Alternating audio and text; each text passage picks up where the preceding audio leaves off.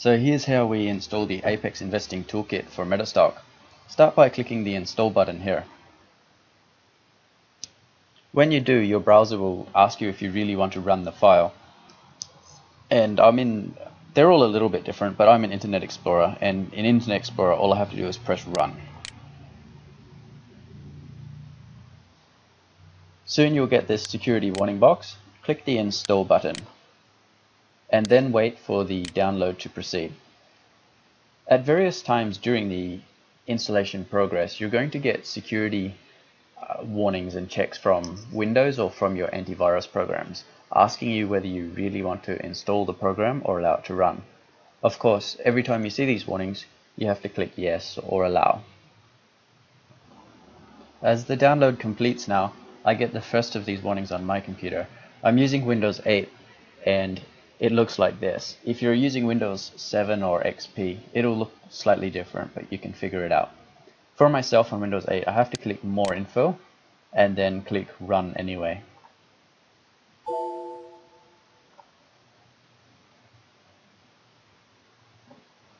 After the program starts up, we'll notice a couple of things. First of all, obviously it has started. And second, we have a new red icon on the desktop. From now on, to access the Metastock toolkit, all you have to do is click this icon. You never have to go back to the website.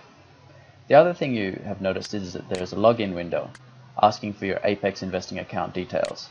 Now, at the moment, sometimes that login window will actually appear underneath the toolkit window, which could be confusing until you move the toolkit window and see the login window. Now, we're going to fix that very soon, but for now, please forgive us and just have a little patience to look under the window for it if it can't be seen. Now, I log in with my Apex investing account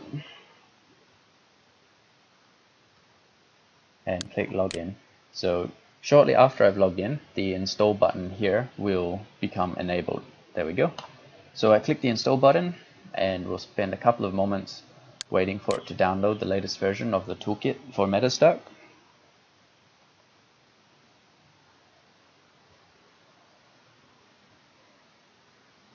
Once the installation has been complete, we're presented with a launch button. You can go ahead and click your launch button if you like, but I'm not going to click mine because I just want to show you how the Toolkit installer works next time I start it. So I'm going to close mine and then restart it by clicking this icon on my desktop. When it starts the next time, after a little while, these buttons become enabled. The repair button lets me just make sure that I haven't corrupted my installation accidentally sometimes. Um, perhaps if you were you know, playing around with your file system, you could have corrupted the installation, and this will let you fix it. At other times, when we've launched a a new upgrade, this, this button will say upgrade and it'll be compulsory to upgrade to the latest version. The launch button just lets me launch it. So I'll click launch now and start it. The first thing it does is it logs me in using the Apex Investing account.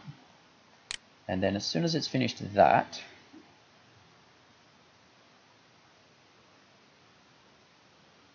it will download some information about the various instruments we use. And then it will log into Metastock itself. So this is it trying to connect to your Metastock data connection.